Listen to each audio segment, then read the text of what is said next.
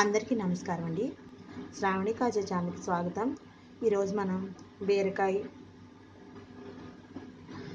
పుదీనా టొమాటో పచ్చడి ఎలా తయారు చేయాలో చూద్దామండి దానికోసం నేను ఒక కప్పు బీరకాయలు తీసుకున్నానండి. ఒక హాఫ్ కప్పు పుదీనా ఒక హాఫ్ కప్పు టమాటోలు అంటే రెండు టమాటాలు తీసుకున్నానండి. ఇక్కడ ఒక నిమ్మకాయ సైజ్ అంతా చింతపండు అలాగే ఐదు ఎండుమిర్చి నాలుగు ఎల్లుల్లిపాయ రెబ్బలు మూడు పచ్చిమిరపకాయలు అలాగే ధనియాలు కొంచెం జీలకర్ర అండి. ఒక స్పూన్ ధనియాలు ఒక స్పూన్ జీలకర్ర. ఇప్పుడు మనం తయారు చేసే విధానం ఎలాగో చూద్దామండి. నేను ఇక్కడ ధనియాలు జీలకర్ర ఎండుమిర్చి పచ్చిమిర్చి ఎల్లుల్లిపాయలు వేసేసుకొని వేపుకుంటున్నానండి. కళాయి పెట్టుకొని ఆయిల్ వేసుకొని వేగిపోయినాయండి. ఇవన్నీ మిక్సీ జార్లోకి తీసేసుకుందాం. ఈ ఆయిల్లోనే మళ్ళీ ఇప్పుడు మనం ఈ ఆయిల్లోనే మనం బీరకాయ ముక్కలు వేసేసుకుందాం.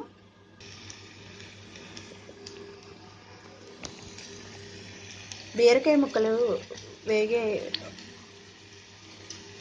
వేగిపోయిన తర్వాత మనం కొత్తిమీర అదే పుదీనాని అలాగే టమాటా ముక్కలు కూడా వేసుకున్నామండి బీరకాయ ముక్కలు వేగిపోయినాయండి. దీంట్లో కొంచెం ఉప్పు వేసి టమాటాలు టమాటాలు పుదీనా కూడా వేసేసుకుందామండి. టమాటాలు పుదీనా వేసేసుకుందాం. బీరకాయ ముక్కలు వేగిపోయినాయండి. ఇప్పుడు మనం టమాటా పుదీనా కూడా వేసేసుకుందాం దీంట్లోనే. మొత్తం వేగిపోయినాయండి.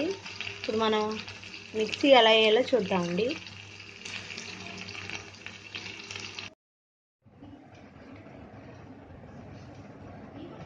ముందుగా ఇవి ఎండుమిర్చి పచ్చిమిర్చి ధనియాలు జీలకర్ర ఎల్లుల్లిపాయి ఇందులోనే కొంచెం నానబెట్టుకున్న చింతపండు కూడా వేసేసుకుని కొంచెం ఉప్పు వేసుకుని మిక్సీ వేసుకుందామండి.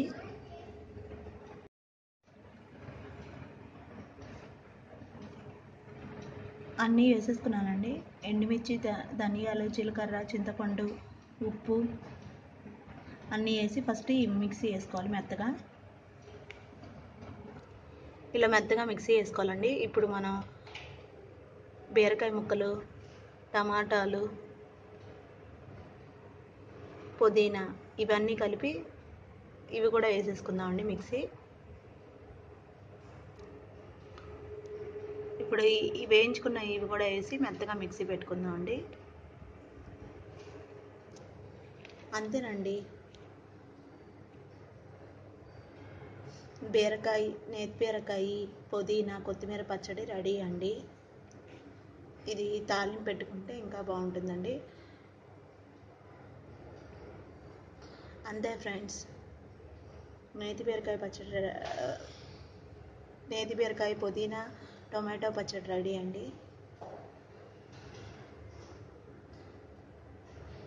మీకు మా ఛానల్ నచ్చినట్టయితే లైక్ చేయండి షేర్ చేయండి సబ్స్క్రైబ్ చేయండి సపోర్ట్ చేయండి. Thanks for watching friends thank you friends